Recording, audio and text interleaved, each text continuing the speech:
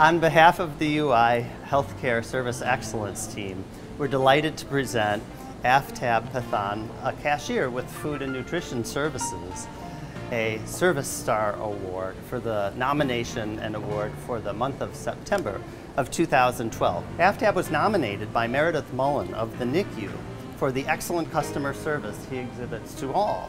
Meredith's nomination was a brief and to the point note where she wrote, Aftab is a consummate service ambassador. Courteous and friendly demeanor, this gentleman exhibits true service excellence for all who use or pass by the Elevator I kiosk. So Aftab, congratulations on earning this award. This is wonderful.